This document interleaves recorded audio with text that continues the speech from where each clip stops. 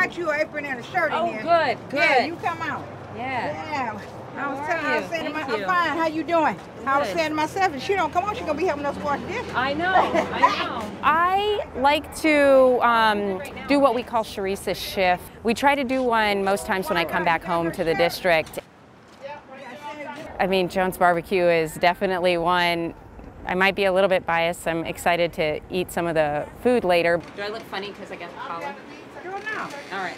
I, I got some No, damn whatever I put on is okay. Yeah. As long as I'm kind of dressed, my. you know what I'm yeah. saying? Okay, there you it's go. all covered up. There you go. yeah, that- that's a law. That's a law. That's a law right You know, I just like to come and talk to local business owners and get a sense of um, w- what it's like to actually be um, doing the hard work that keeps our economy thriving and uh, keeps the folks in, in our community fed.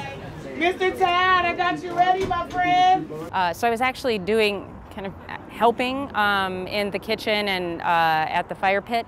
But um, a lot of the things that I like to talk to folks about is what kind of, um, as small business owners, issues they face. And uh, a lot of times it's things like access to capital. Uh, we were actually just talking about what it'll take to get a second fire pit out here. And um, that's not necessarily a federal issue. It happens um, sometimes at the state or community, locality level. But those are the kinds of things that I think it's important for folks who are creating and passing large uh, pieces of legislation. You know, I'm on the Small Business Committee. I want to make sure that I have a lot of times the questions that I should be thinking about when I'm reading through um, or trying to come up with policy solutions. Uh, Congress is on uh, approximately six week recess from voting, and it gives us an opportunity to spend as much time as we can in our districts and doing things like this.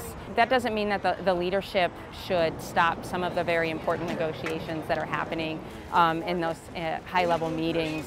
For Kansas, the uh, USMCA um, is going to be really, really important. And it's for a lot of reasons, you know, whether it's our agricultural folks or also the provisions that they're actually trying to hammer out now.